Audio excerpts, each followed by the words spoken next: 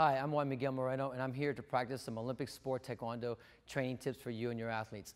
Today, we're going to focus on utilizing our front leg side kick to establish distance, but more importantly, our second kick is going to go to the face, which in our sport rewards you with three points. So it's a big, um, uh, it's, a, it's a little bit of a risk, but it's a big reward to get three points on the board. So we're going to start here in a closed stance. Again, chest are facing opposite direction, and I'm going to have my, my partner hold the cut. I don't want the cut to be too high. I want to make sure it's nice and low on the belt. So for practice purposes, we're going to use the target away from the body, and then the second kick is going to go up to the face. So from here, watch how after I kick, this foot comes inside to create distance so that I can go right away to the face. So ultimately, I'm trying to get three points to the face. But I have to first establish this side kick or this jabbing motion, a lot like a boxer would establish her jab to follow through. So from here, I'm just going to establish a distance, and then as I retract my leg, the other foot comes in to give me position to go for the face.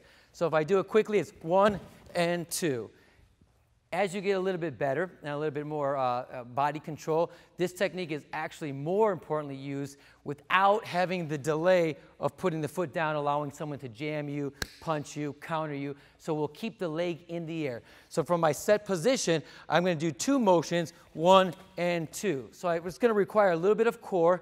If you notice that my leg does not drop down and swing up, it stays right where it's at. And after I hit the cut or the side kick position, the leg just comes right up to the face, scoring up for our three points.